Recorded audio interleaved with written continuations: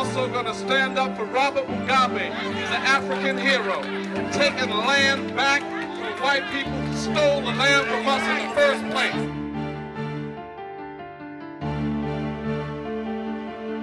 Y'all gonna like this one too. You should have never bombed Libya. You should have never murdered Gaddafi.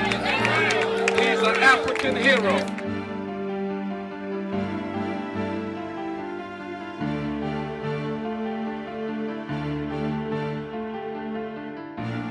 Gaza was a death camp set up by Israel.